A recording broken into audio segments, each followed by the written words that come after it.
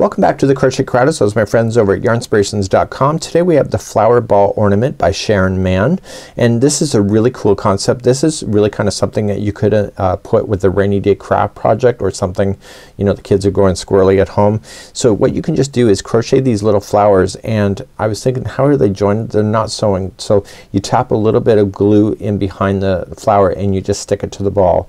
So I'm gonna just show you how to do these really quick flowers. They're really that quick and then you just have to do a total of 22 of them per ball. It's a four inch uh, circular ball uh, in order to do it. Now it says flower A and flower B. All the differences is that there's just different colors. Um, you know again that you can make your own creativity. You can be as multiple um, colors as you want or just as basic as you want to as well. So without further ado it's recommending a four and a half millimeter size G6 crochet hook and just red heart super saver today. So let's begin. You can decide to change colors as often or as little as you want to and you want to chain two, one and two. Now I want you to come to the very first chain and I want you to, to apply six single crochets there. So one, two, three, four, five, and six.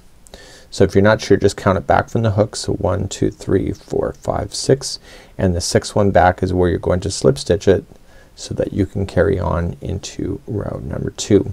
So technically they're saying for you to uh, finish this off. So just fasten it off. Just weave in your tails and then we're gonna move on to round number two which is the final round. Is that simple of an idea. So just pulling it through and I'd weave it in a little bit so that you don't have to get so manic about your uh, um, weaving in the ends with a tapestry needle if you don't have to, right? So let's uh, move on to a different color and we're gonna continue then. And uh, if you want to get rid of your tails at this point, now is a good time to do it.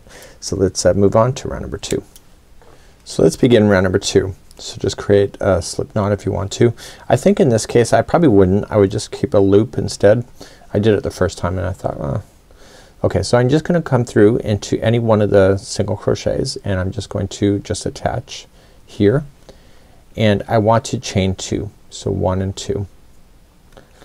Then in the same one that I just did that into I want to do a half double crochet noticing that I'm going up over top of the straggler and then chain two. One and two and then in the same one where I was just at just slip stitch. Okay, there's a petal right there. So coming into the next stitch, so just slip stitch first, chain two, half double crochet, and then chain two and slip stitch to the same one that we were just working in. So you see there's kind of three steps all in one stitch. So come to your next stitch that's available to you. So slip stitch, chain two, half double crochet, chain two and slip stitch. So you're gonna do that you will have a total of six round or petals when you go to do this. So just slip stitch, chain two, half double, chain two. I keep grabbing plies today. I don't know why I'm doing that. Okay, and then come to the next one. So slip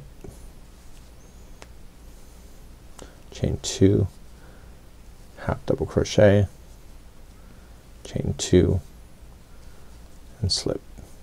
And finally do the last one. So slip, chain two, half double crochet, chain two, and slip.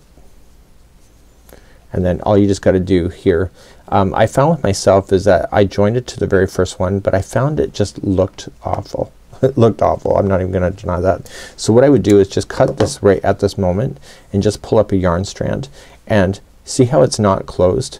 What I would do with the tapestry needle instead because the way I did it then I joined it was so obvious and that it actually made uh, one two petal oh two petals look like it was one. All I would just do is with the tapestry needle just pull it over to the first petal see and therefore I don't lose that point and then turn it over and then just weave it in and out of the project three times. So one, two, and three. So you've got to make 22 of these um, per ball and uh, depending on the size that you want to do too. If you want bigger flowers you just got to increase your hook size and uh, it actually works out pretty nice and it's a neat little project that you can enjoy with kids or even for yourself if you want to match something to a Christmas tree. Even a gift topper.